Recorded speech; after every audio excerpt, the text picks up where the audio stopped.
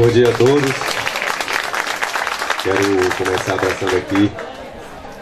é, o secretário Jerônimo, aqui representando o governo do Estado, Silvio, reitor da Universidade Federal do Recôncavo da Bahia, meu amigo Orlandinho, ex-prefeito de Cruz das Almas aqui presentes também. Abraçar os vereadores é, aqui da, de Cachoeira, especialmente o vereador Florisvaldo, o vereador Mag, que é o representante natural aqui das comunidades quilombolas, por ser aqui da comunidade do Iguape. Abraçar o Major Marcelo, também filho aqui da comunidade do Iguape, das comunidades quilombolas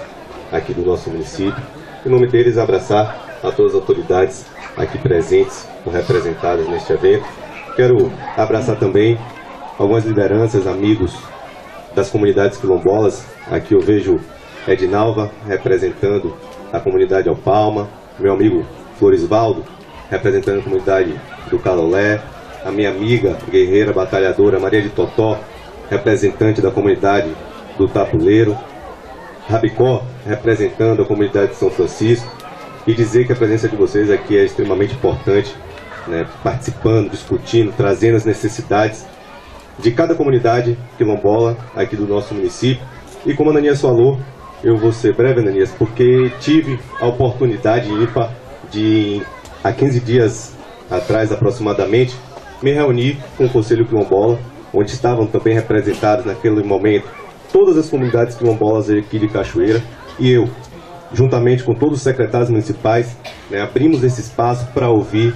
cada representante, cada comunidade, trazendo as suas dificuldades, as suas reivindicações, para que a gente, na medida do possível, dentro das condições do município, dentro das possibilidades orçamentárias e financeiras do município, pudesse atender. E mais do que isso,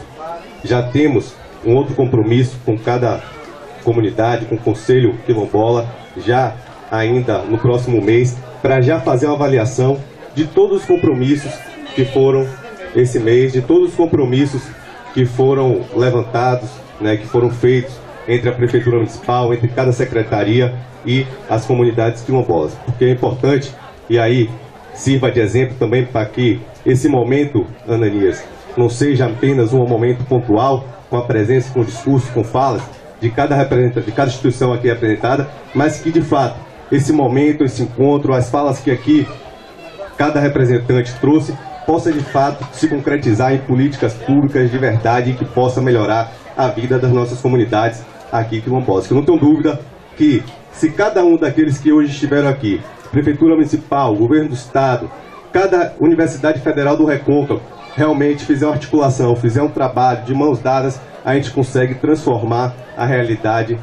transformar a vida de cada morador aqui das comunidades quilombolas, que sem dúvida precisa de uma atenção especial do poder público, municipal, estadual, federal, porque foram as comunidades, foram as pessoas que por mais tempo ficaram esquecidas, ficaram isoladas do acesso à educação, do acesso à saúde. Malmente tinham o direito de ir e vir aqui nas suas comunidades devido à dificuldade das estradas vicinais aqui das comunidades quilombolas. Então, por isso, precisam, sem dúvida nenhuma, de uma atenção ainda mais especial por parte de do Estado, do governo municipal, do governo estadual, do governo federal. Mas dizer que para mim é uma alegria participar deste evento, que para mim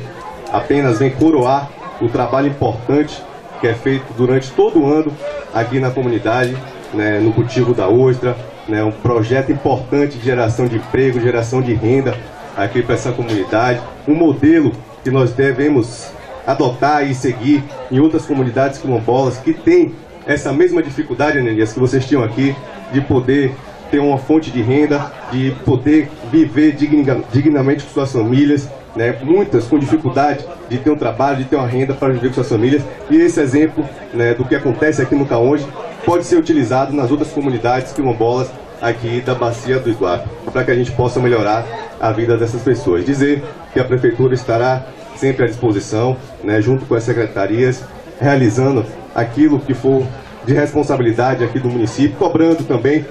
junto ao Estado, junto ao governo federal, para que a gente possa melhorar a vida de cada morador aqui no nosso município, especial das comunidades quilombola. E dizer, Ananias, que